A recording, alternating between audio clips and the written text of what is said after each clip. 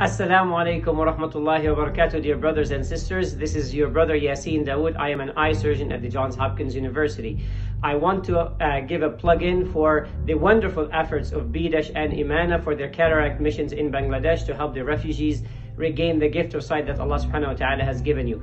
Cataract is the leading cause of blindness in the world. It's actually one thing that plagued my grandmother and for as long as I could remember as somebody who grew up in a refugee camp we could not afford her cataract surgery and this woman who was a hafiz of kitabillah she actually memorized the book of Allah subhanahu wa ta'ala and she was such a blessed woman but she could not see anything that I was her seeing eye for a long time as well as my siblings and cousins that's the inspiration for me to become an eye surgeon. And now I do these surgeries in five to seven minutes, and subhanAllah, it is the best form of sadaqah jariyah.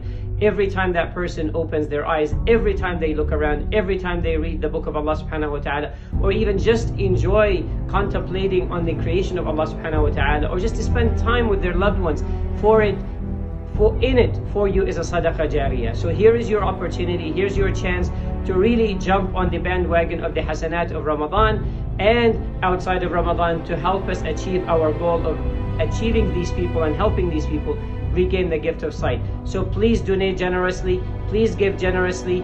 Why? Because these people need you. Without you, they are blind. So inshallah that we give them the sight in the dunya, that Allah subhanahu wa ta'ala gives us the sight in the akhirah. Jazakumullah khair. I really look forward to your contributions. Wassalamu alaikum wa rahmatullahi wa barakatuh.